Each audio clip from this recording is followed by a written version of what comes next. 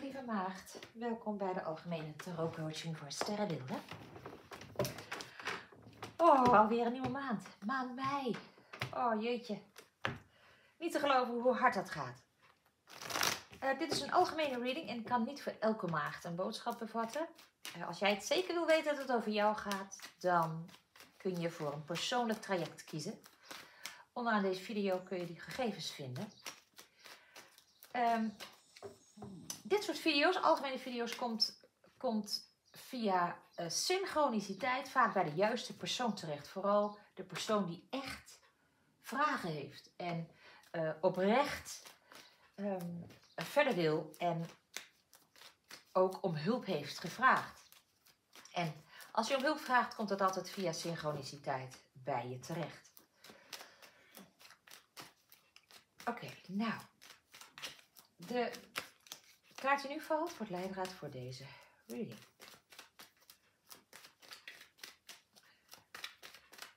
De kaart die nu valt.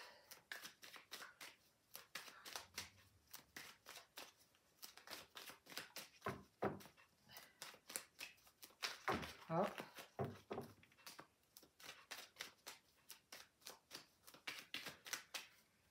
Nou, hij wil niet. Oh ja, hij wil wel.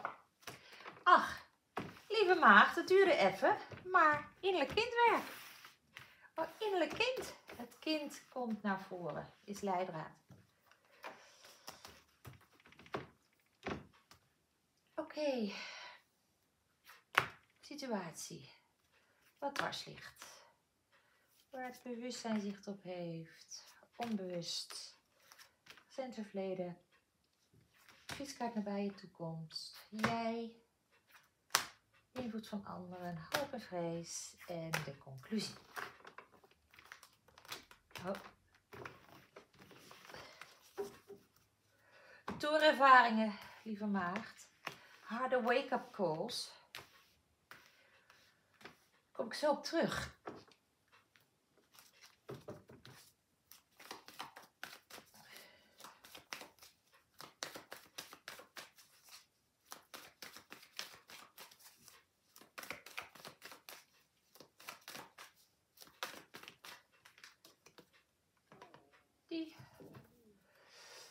Vliegt eruit. En uh, verklarende kaarten.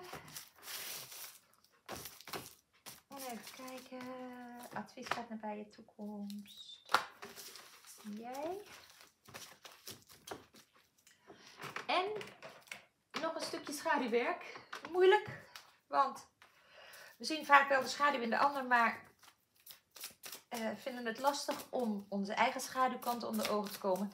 Maar met onze schaduw blokkeren we wel. Ik pak deze. De met onze schaduw blokkeren we, of saboteren we echt relaties. Uh, ook met de relatie met onszelf. Dus heel erg belangrijk om je schaduwkant te zien, te willen zien. Zo nederig te zijn om, um, om eraan te willen werken. Um, want anders schep je lijden. Um, lieve maagd, de toren. Als die tevoorschijn komt, is er altijd sprake van dat, jij je, dat, dat je je innerlijke stem niet volgt. Je hogere leiding niet volgt. Dat je toch eigenlijk je eigen willetje wil doorzetten. Ook al zegt jouw hoge zelf, jouw innerlijke stem iets heel anders. Um, innerlijk kind.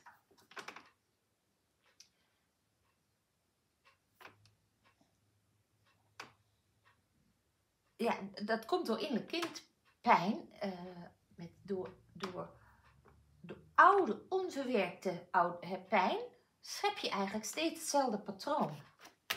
Ja, zie, je staat voor een bepaalde doorbraak. In het recente verleden stond, sta je voor een bepaalde doorbraak. Maar die doorbraak hou jij tegen. Ja, je, door schuld en schaamte. Jij Ach, codependency.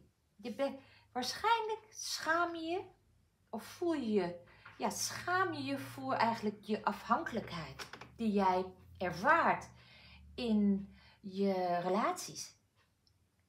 Het, het, het, het, het geeft je enorm veel stress. Je, je, je, je loopt er eigenlijk voor weg. Je, je wil eigenlijk niet de pijn ervaren. Van, en je, ook schuldgevoel zit daarbij.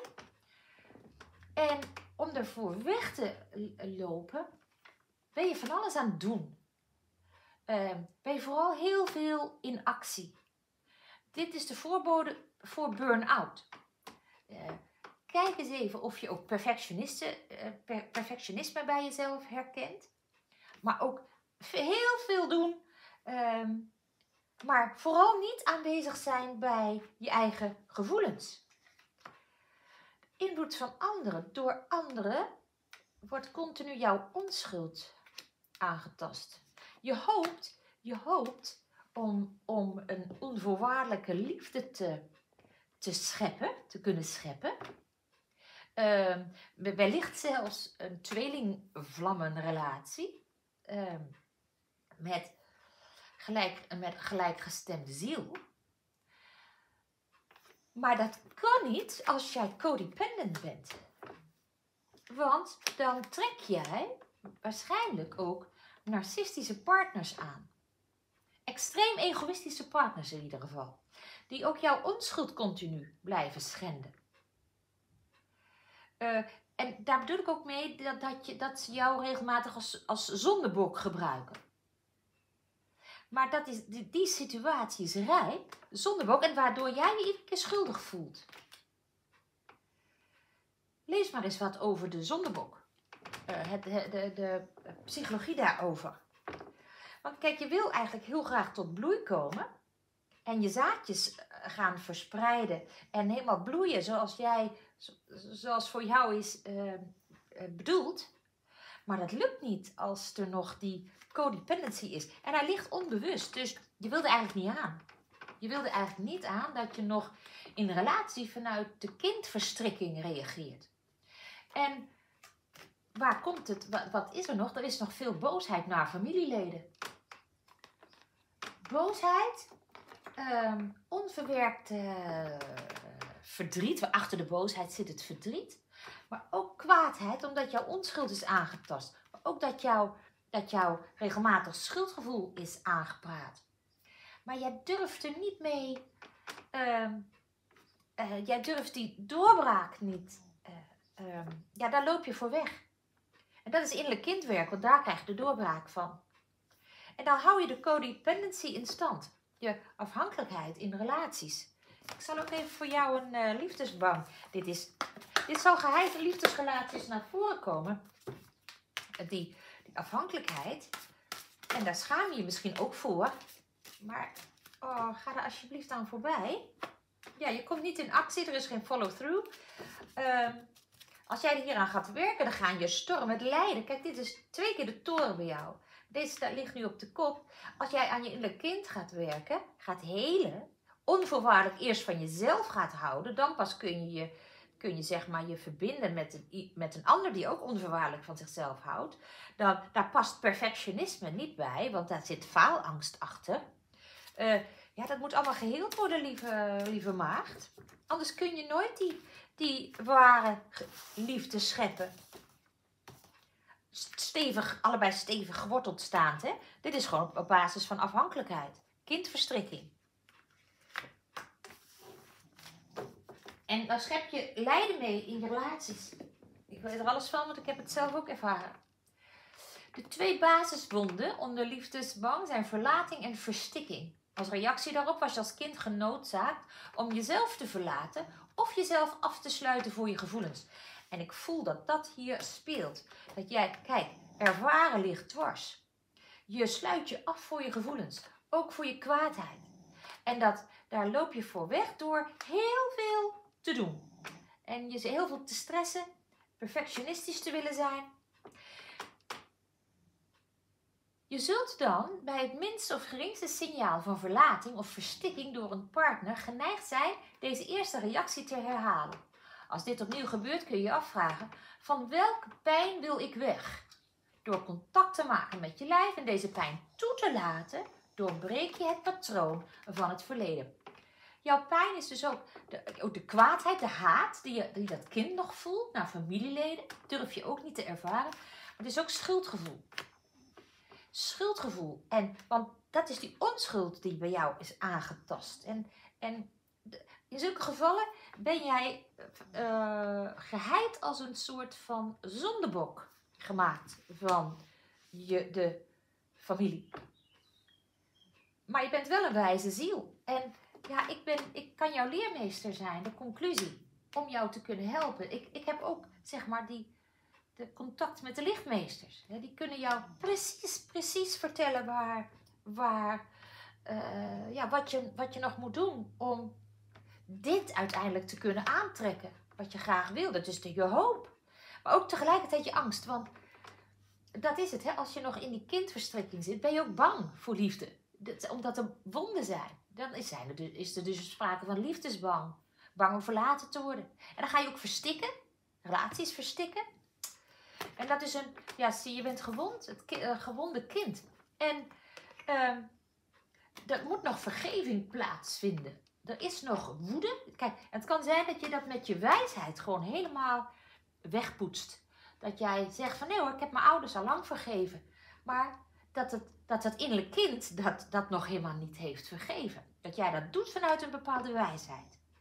Snap je? Maar in het onbewuste zit nog steeds die afhankelijkheid. Van dat je nog heel, heel graag wil dat een ander ehm, jou waardeert. Uh, dat je wordt liefgehad. Dat je beminnenswaardig bent. Dat je gewaardeerd wil worden door de buitenwereld. Je bent daar zo afhankelijk van, ook van bevestiging. Dat je het wel goed genoeg doet. Maar dat soort dingen. Maar dat is dus de wond. Je bent gewond. En kijk, wat dan gebeurt, is dat je je eigen dromen of potentieel vernietigt. Want met je eigen destructieve kracht. Dit is destructief. Eh, je raakt gestrest, je krijgt burn-outs. Ehm, je durft het niet te voelen. Je, je vergiftigt jezelf met destructieve kracht. Je kunt jezelf dan ook vergiftigen met, ja, met middelen. Ehm, eten, drinken, uh, drugs, whatever. Uh, uh, met je, met je, ja, je eigen dromen. kijk, je wil, dit, deze droom kun je dan niet, niet, nooit, nooit waarmaken. Je blijft in die verstrikking. Die, dat kind, die kindwond. En er is geen follow-through. Het is, de situatie is nu rijp. Het is klaar om losgelaten te worden. Maar dan moet je, dat gaat nooit zomaar, zoals een struik. Jij moet eraan werken. Je moet zeg maar dat innerlijk kindwerk gaan doen. Maar deze zegt van ja, er is geen follow-through. Je, je, je blijft in het oude. Maar misschien wel omdat je je schaamt. Of, uh, en ik zou zeggen, ach, lieve maagd, als jij tot bloei wil komen, uh, volg dan je leiding. Dit filmpje zie je niet voor niks.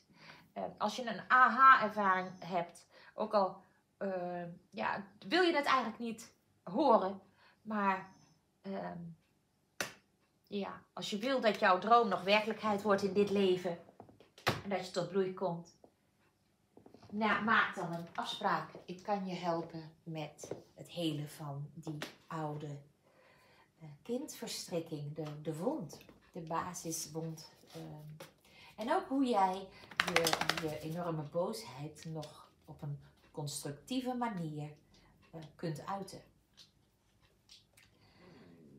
Uh, je, in je boosheid zit ook je kracht, hè? Daar zit ook je, zeg maar, je, je, je warrior energie.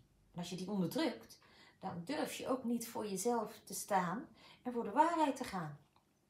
En onderdruk je dus, of je, saboteer je dus je eigen droom.